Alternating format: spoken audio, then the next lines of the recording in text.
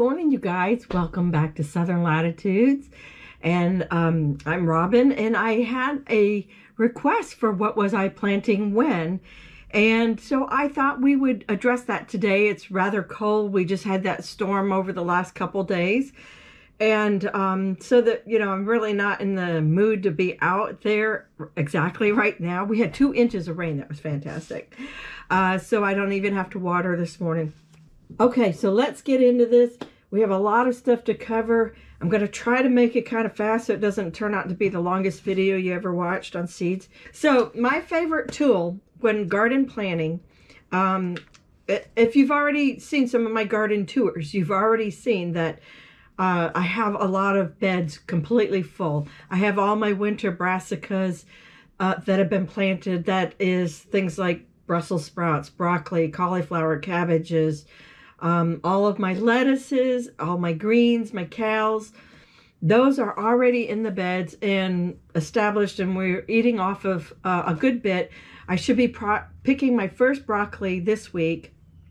Uh, I don't think the cauliflower heads are starting yet, but they're starting to fold over. Um, I was a little late to the party because if you know, you know, you know that I had trouble with rodents and had to restart, restart, restart. So, um, I also have tomatoes and I have peppers and I have onions already in the ground. Um, that was just sort of trialing for fun. We usually get some tomatoes in winter, but we've had such a mild winter in Florida that I've had tremendous success with my tomatoes already. And um, we're not canning them, but we're eating fresh pretty much on a daily basis. Uh, the peppers, you know, just a one or two a week, you know, and that's pretty good really for peppers. I didn't expect them to perform like that. Uh, the onions are great. I have plethora, I have 1015 Ys, and I have red Creole, and um, they're all getting pretty thick, and the plethora are already starting to bulb, which is a surprise to me. And, um, and we'll talk a little bit more about those. And then the permaculture is a whole different video. So anyhow, the favorite tool that I have is Clyde's Garden Planner. Now, uh, it has a sliding, let's see if I can make this slide. It has a sliding tool, and you just put the line where your last spring frost is. Now, if you're in zone 9B like me, and Kelly asked me this question on the comments a few videos ago, um, the the line only goes as far back as February February 8th. And so I just use that as my start date. It can be January 30th. It can be February 28th.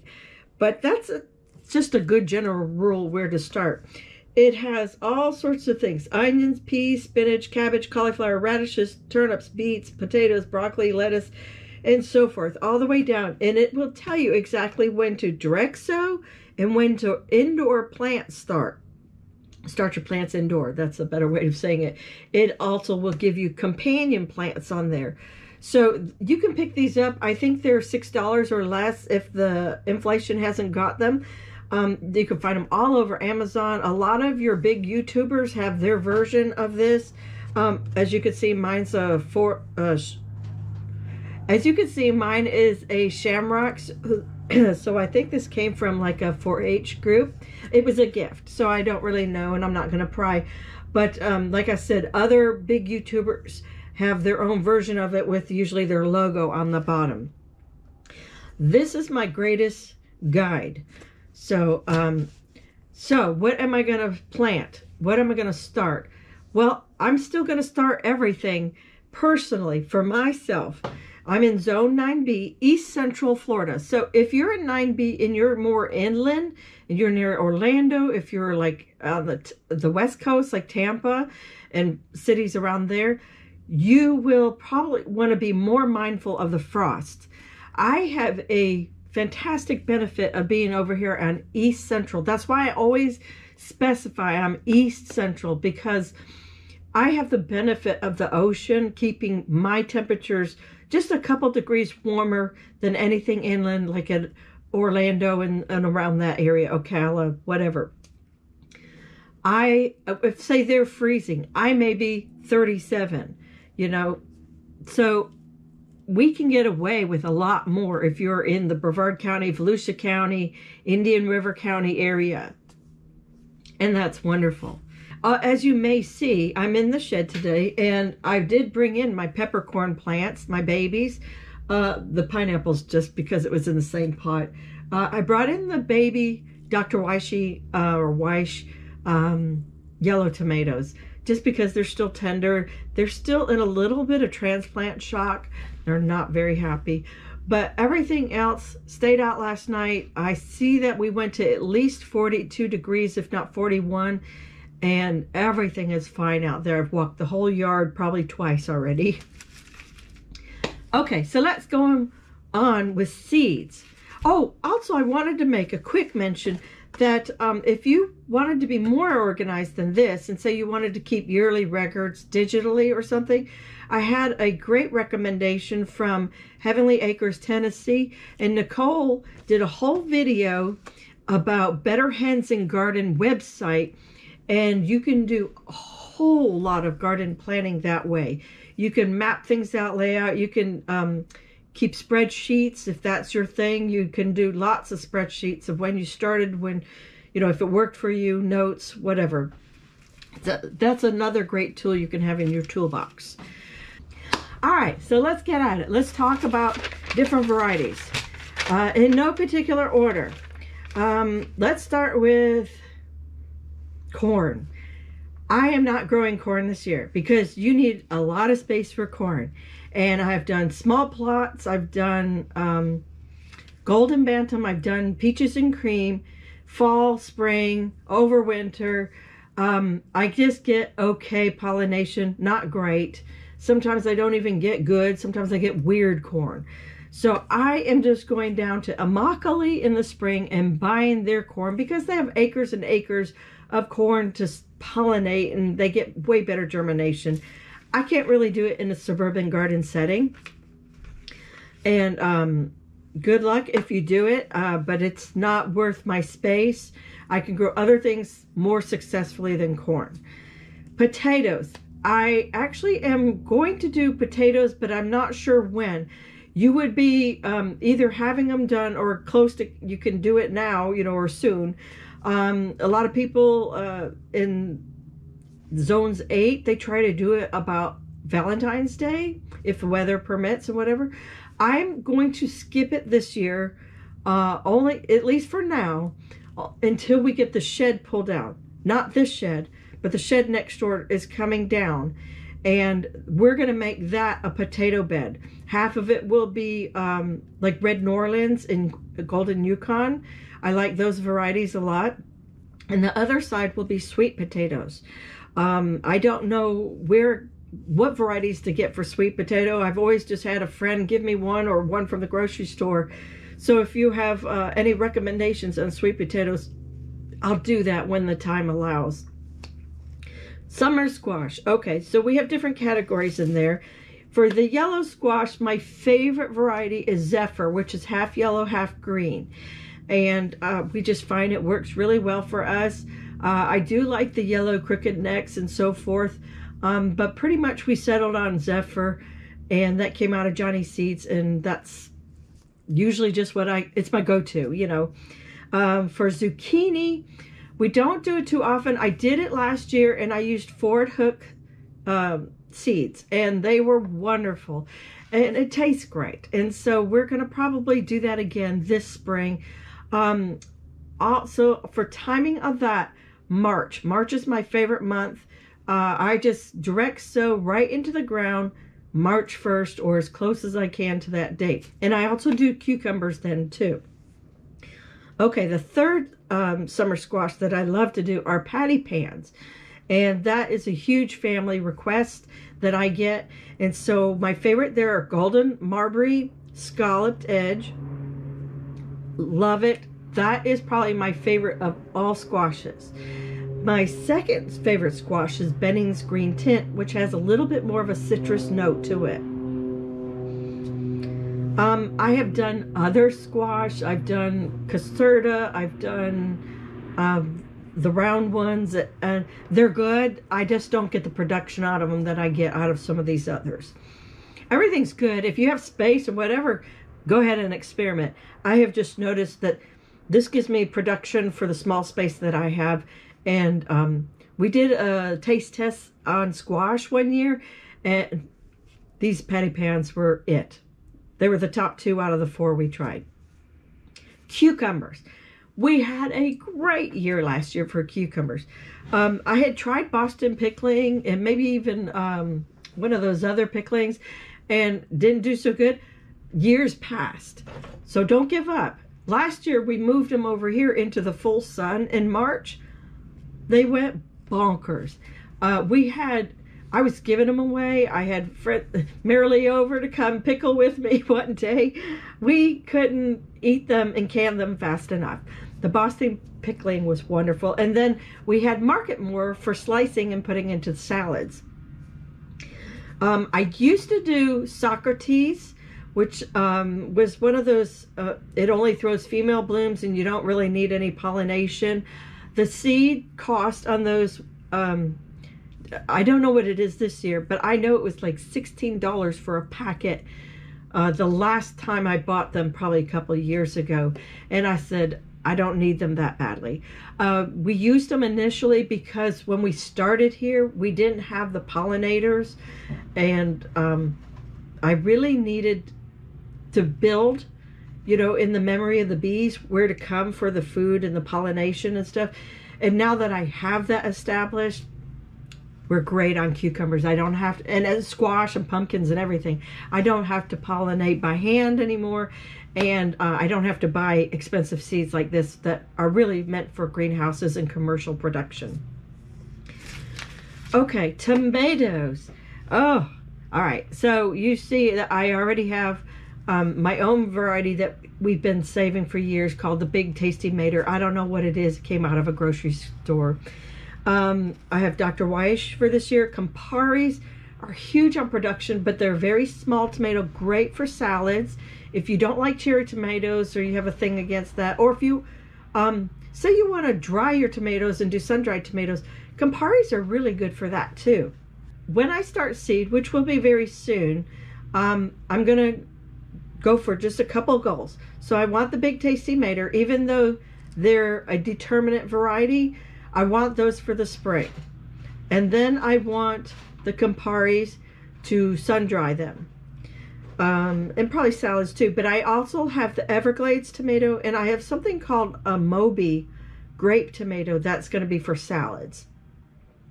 I will also uh, re-sow. I know I have them out here, but they may not last.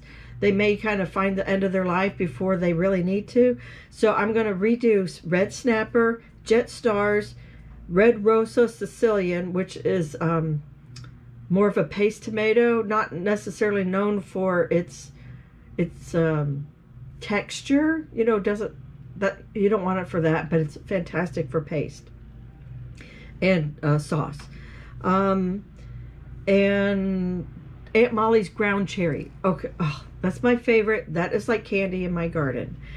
That's my favorite. So, um, anyhow, that is what I'm, okay, the Dixie Red and the Grand Marshal, I might not have said this, are known for heat. So I don't have to start those right away. I can wait for some of these other tomatoes to phase out and die out or whatever they want to do. And then I can trial and see how the Dixie Red and the Grand Marshals are. Now, I I don't know that my Grand Marshals made it through uh, transplanting and growing, whatever. If they are, they're covered up and I can't figure out which ones they are. But the Dixie Red have put on really nice six to eight ounce um, tomatoes. And I love that. That's really good. And that's in cold. And they're, um, I believe, hybrids designed for heat. So we're going to try that again. And we're just going to keep the tomatoes going. When I want to can, I'm actually going to go to Immokalee, Florida. And we're going to go buy cases of canning tomatoes and uh, we'll knock that out. Jack and I, Jack usually takes the week off, and we do canning for the full week, and uh, we put up stuff for the whole year. This is really just fun for eating fresh, giving away to friends. Um, sometimes we can, like I said, with the cucumbers, and we make uh, pickles and I make um uh, what's that called um Wickles. You guys have you heard of Wickles in the store? So uh, I found a knockoff recipe on the internet and I follow that and that I do Wickles relish and I do Wickles pickles and my family absolutely loves them and they taste just like the store version. Okay, next, let's talk about, um, I forgot to mention it when we were talking about sweet potatoes, but Seminole pumpkins will be going out somewhere. I'm not sure. I just pollinated my first buttercup squash yesterday for spring. And then um, if we have room, I may put the Seminoles. No, I wouldn't put them up there. I don't know. I'll put I'll put them somewhere. so I will put them somewhere in the backyard. Uh, South Anna butternut squash. Okay, that's great. Does great in in heat. It's a hybrid, and I saved the cross of their two F1s, so that makes this a F2 hybrid. And so when all of the brassicas and stuff are, are, gone in this garden, I will replace it with my South Anna butternut squash. That's where they go. They went there last year, and I'm just going to do it again. Um, I'm going to throw uh, rotation out the window. okay, loofah. Let's not forget loofah because it was on this trellis and it was on my front yard fence. And I have loofahs coming out my ears. Uh, some people have corn coming out their ears. I have loofah. I don't need any more loofah for like two years. So I thought it'd be a cool change to, I have tons of butterfly pea. And I thought, let's turn that whole front fence blue. And then I'll collect up the blooms and I will make uh, butterfly tea. I'll dehydrate that and save that for next winter's um, flu cold season, whatever cold season when I'm just drinking it. Um, I think that's a my coming plan for this year. Okay, um, okay, we're still sticking with things that climb. I have Alaska peas in here right now. I just picked my first bunch this morning for like tonight's meal. I have Alabama butter bean.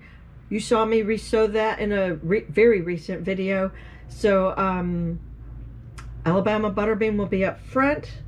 Lots and lots and lots of it. I also have scarlet runner bean up front. Uh, field peas. If, I don't know where I'll put them. I may put them when the lettuce phases out. I may put them up front here uh, in the south garden. And those were Queen Anne's black-eyed peas. I don't know that my variety is more important than any other variety. But, you know, have at it.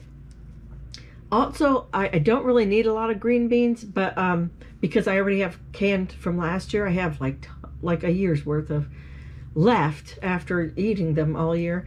Um, but I do like um, the green bush bean from Hoss. It's sort of a non-named bean. It's just really general name. Uh, I like cannellini white bean.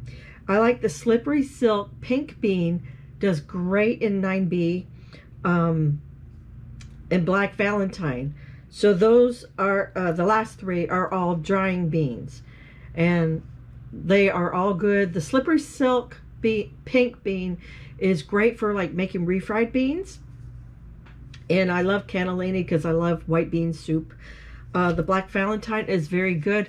Although that's sort of an older heirloom, there might be new improved um, hybrids or whatever you want to use uh, if you find a good isn't there like a Trail of Tears or something like that? I'm not really sure of the names. I didn't come prepared with that information. But um, yeah, black beans are great in Zone 9B. Okay, let's get to uh, peppers and eggplants. They're in the nightshades family along with the tomatoes. Um, so I have already out there, I have Jimmy Nardello. Is that right? And um, Big Mama. I have sweet banana peppers and or was it Big Bertha? Big Mama, Big Bertha. I'll put it down below. And uh, I have cherry pick hybrid peppers, sweet, not hot. So those are hopefully going to make it through winter and be there. Now the onions I'm predicting to come out about, they're in the same bed. They're coming out about April or May. and well, probably April. And um, then I plan on replacing them with my peppers. Now, I'm not going to start my peppers. Sometimes I start them as early as now and I just germinate them in the house and then bring them out. But the days are so short, they grow very slow. It's maybe not worth it, especially if you have other things that are priority, like your cucumbers and your, your peas and the cold things, um, or cooler things, uh, the preheat crops. So I like to give my peppers to mid-February, late February. You have a little bit longer days. They won't suffer anything from having missed the extra month, six weeks, eight weeks in a tray. In fact, it might be better just to get them going as we start getting a little heat and a nice longer day. Um, so when I do that, it will be bullnose pepper. We grew those a couple years ago, maybe three years ago. Had huge production on those.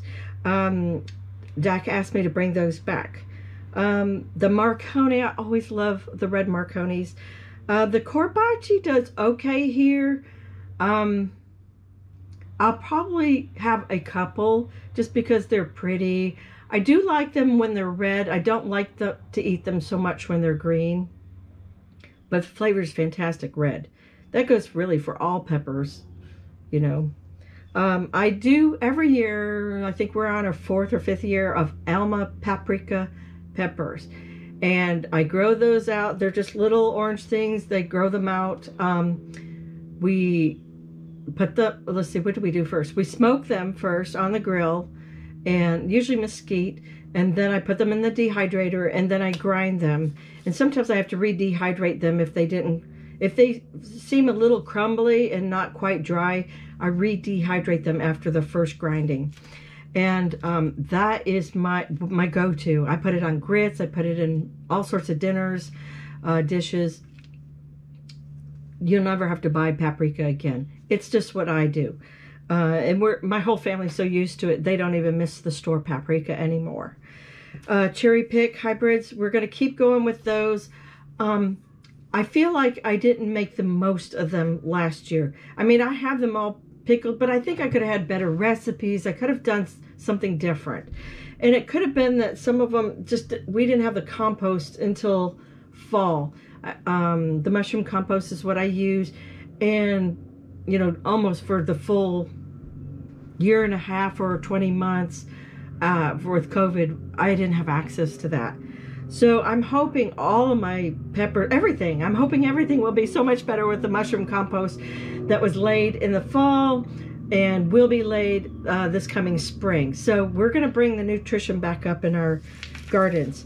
Uh, eggplant, oh, Black Beauty is going fantastic. I have a plant that's a year and a half old over there. That's a Black Beauty eggplant. Still going strong, still has blooms in January. I have more eggplant, uh, Black Beauty, and Purple Shine this year in this garden, in the salsa garden. Doing fantastic. I didn't quite realize how well the eggplant would do in zone 9B. I don't know if that's just because we had a mild winter or if it has always done that because I don't know that I've ever tried it in winter before like this. Um, I tried it one time in shade. It didn't work in the shade in the winter, but in the summer, bonkers. Um, now I have a new one that I am going to try. The seeds are already ordered. They're coming in soon called Milan, Melanzana rossa di rotonda. And that's an eggplant that is, it's multicolored. It, like some of them come in yellowish and orangish and reddish. Not just your standard purple. And they are, um, they have a mixture flavor of eggplant, tomato, and I did they say pepper? Some sort of pepper. It just has like a a whole different flavor, and it sounded just fantastic. You know, the Italian in me was like, you gotta buy it. So um, I have those seeds coming. Whenever they get here, I'll do a whole tray of um, them along with the tomatoes and stuff. Okay, I think I'm done with this page. Um, herbs. Let's talk about herbs. I have Genovese basil, which is sweet basil up front. I have Persian basil in various spots. Some in the lettuce potager garden. Uh, I have lettuce leaf basil, which will be new to me. That's also coming with the other new eggplant. I'm really excited to try that basil. Um, I have bouquet dill. It's one of my favorites I use in Zone 9B. Uh, and I save seed. I haven't bought seed in years. Um, it's just great. I Here's a little tip. I grow them now when the weather is right. And then I take off the heads. I save some heads for seeds. But then I take off the other heads, throw them right in the freezer. We save them for when we do dill pickles. And that way you don't have to have you ever tried looking for dill heads uh, in a grocery store? It, it's not impossible, but it's so rare. And so the best thing you do, can do is grow them now, throw them in a freezer Ziploc bag or whatever, and put them in there. Uh, it, sorry, in there, in my house. Put them in my house. Put them in your freezers. And then just pull them out and pop them in the jar. It's easy as that. Uh, Hercules carrot is my favorite. I also have grown Pusa Asita, but um, and they go to bolt very quickly and they grow the little side hairy roots. Um, I really like them for pollinators. Uh, they make too much of a mess in the house. They freak my husband out. He's not really into interesting looking food. I have to just be honest there. If uh, th they won't eat it, then I probably just shouldn't grow it. I like the yellow carrots, but again, freaks the guys out in the house. It is what it is. Um, the Amarillo, uh, I think that came from Baker Creek. Uh, that was all wonderful. I love all those carrots. Um, do carrots now. Uh, you still have time. Put some carrots in now. You could, you know, make a big push now. Uh, it, if you wait all the way to like April 1st, I don't think you're going to get some good, you might get low germination, but I don't think it's really good. And your carrots won't be sweet either. You want to do carrots in the winter when they're much sweeter. Kales. Okay, so I love red Russian kale, red Ursa kale, Nero di Toscana kale. Ragged Jack is the same as red Russian. Um, I love all those kales. I grow all those kales. I have also done the blue curly scotch whatever kale. I don't personally eat it. Um, I give it to my animals. It's really wonderful calcium and nutrition and everything for the bunny and the chickens. Um, I didn't grow that this year. My GoPro keeps cutting out on me. I think it's kind of overly heated. Um, French breakfast radishes are my favorite, but all of them grow here in the winter. Let's get to watermelons. No, I'm not doing it. I have tried sugar babies. I've tried Georgia rattlesnake. Um, it's good. You need space. If you have space, go ahead and go for it. I don't. For the few that I eat, I'm just going to go buy some at the store. Also, no cantaloupes. I'm not doing any orange pumpkins, but those little bitty ones that you buy um, in, in like multiple colors and they're warty, bumpy, and all that. They do actually grow pretty good here but I find they like spring and they're never here in time for fall. Um, so no for that. I wanted to give you a little bit of advice. Some of you I see trying to plant certain squash and pumpkin varieties um, in Florida. And I will just give you a head up that anything that is in the Mochata, M-O-C-H-A-T-A, or Mixta squash family, they do very well in Florida anything in the Pepo and Maxima uh, struggle, at least in the subtropical tropical part. I don't know about the panhandle, but I, because that's sort of, you know, they have frost and all that stuff up there that we don't have. Um, but I'm just telling you, the Mochata and the mixed squash are great. The Pepo and the Maxima uh, don't do. The other thing we did not talk about was um, garlic. The other thing we didn't talk about was garlic. Uh, I did Pescadero Red and Salmon River um, garlic last year. They did okay. They didn't form the heads very well, you know, but the tops grew great. They grew and right on time. The flavor was good. Uh, I just didn't, I'm not putting any energy into garlic this year. Um, some people can do it. I have opted to just go buy not regular store garlic, but like uh, farmer's market garlic. And I dehydrated it and uh, dehydrated it and ground it all by my by myself. Oh, I did it all by myself. um, yeah, I decided to just go to a farmer's market and I bought garlic there um, in large amounts when it was on sale and I dehydrated it and ground it. And that's what I use it for. I, it's good if you can, but I just didn't have a lot of luck with it. Leeks, I've done King Richard and Sir Lancelot leeks. They're okay. And, um, you know, they're heavy feeders. You do them with your uh, onions, and I did them last year, and we had wonderful leeks. Um, this year, my leeks are a little bit smaller. They might not like where they're placed. Um, so, no leeks really to say, to speak of uh, for me. Um, I have some Sir Lancelots, and that's it. Let's talk flowers. You saw the sunflowers that I'm going to do. I have amaranth that's coming back this year, cosmos, the Benary zinnias. Uh, I have a blue disc African daisy that I just bought a seed for. I'm really interested in trying that. Oh, and I've forgotten orange low thyme. That's from Baker Creek. Toothache plant is coming. Um, and then I had a, my friend Marilee gave me and Steve gave me um, Sissoo spinach cuttings. So I'm excited to introduce that into the food forest. And then I have something called a vine peach. And I, for the life of me, I can't even remember what it is. I know it comes from Baker Creek and it looked interesting. So I went in on a seed packet uh, with my friends. So let's see. I think that's. Oh, I have. Oh, I didn't even talk about that. I have ginger and turmeric, and then my uh, friends also. They're more than friends. It, you hear me talk about Steve and Marilee all the time. They're my son's in-laws, and so um, yeah, so we're related, and uh, they have a nice one acre food forest with and sheep and ducks and turkeys. They they are really good homesteaders down there, and um, they've been kind enough to share some shampoo ginger with me as well as that Sissoo spinach. Um, so all that's going to be in the food forest. And I have mustard greens. Those are the Japanese red mustard gre greens.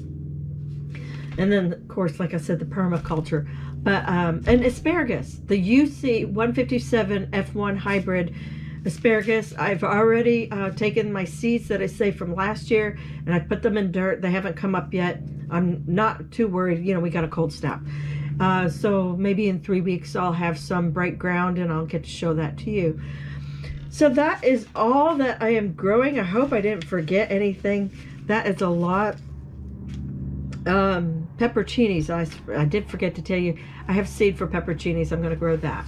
So, um, yeah, that's my garden. I'm sorry, sorry if this is a long video for you, but um, yes, Clyde, my favorite guide. Um, that I really like the Better Hens and Garden idea. Uh, I just haven't got it all set up in time, um, and that'll take me a little while to get it going. Um, yeah, that's what we're doing. So I hope you guys let me know in the comments below if you're growing any of the same things or if you're uh, really excited about a different variety and um, can recommend it to other people. I mean, maybe people are looking in the comments and you can help recommend something for them in their zone. I know I have people in other zones uh, compared to nine, you know, mine and 9B. So maybe you can be helpful for them. Things I can't help people with. So you guys take care. God bless. I'm sorry it's so long, but uh, I love you and I hope this answered a lot of questions. Bye.